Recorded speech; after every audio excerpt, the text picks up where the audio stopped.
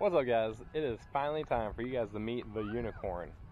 Hi, I'm David. I'm going to be walking you through all of our upgrades, everything we're going to be doing to the unicorn, and what the heck is the unicorn. So guys, meet our unicorn aka Old Smoky. And here it is. aka Old Smoky, our 2007 Dodge 2500. It is a 5.9 2007, as you know, is the last year of the 5.9. They only made them half that year. Uh, it is a mega cab. Mega cab, baby. You guys uh, know anything about mega cab? Plenty of room. You can put whatever you want in there. An actual adult can sit in the back. I am 6'7", so that helps. Not that I would ever be back there, but hell, if I ever want to, I've got the space. So, pretty nice truck. Um, it is kind of rare. I know you guys are like, oh, there's probably 2007 Megacabs out there. There are. But this is why. So look inside. It is a G56 six speed. And there are not very many of these babies out there. Yes, the leather seats are freaking awesome. Uh, we did do that upgrade. We'll walk through it at another point in time. Touchscreen in the dash we will show you a little bit of some of the modifications we've done. As you guys can see, blue LEDs. Let's pop the hood while we're at it.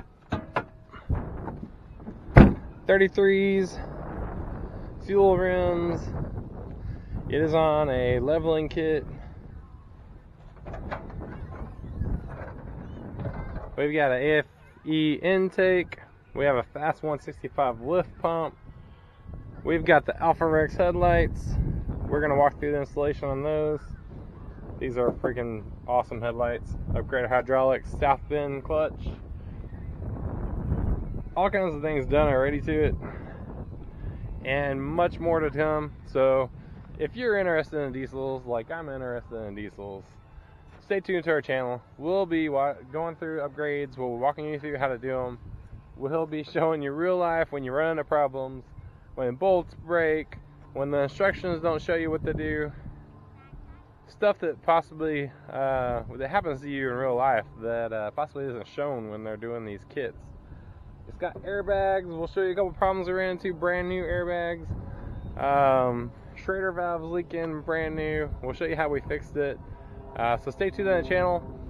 If you like and subscribe, that helps us with um, making sure that we can continue to do these videos for you and making sure that we can uh, continue once we do uh, make any money if we do make any money off this if not uh, but if we do make any money the goal is to invest it 100% back into the truck to give you guys as much content as possible um, and that way we can have fun. So stay tuned and if you're interested in this video and more videos to come then like our channel. Thank you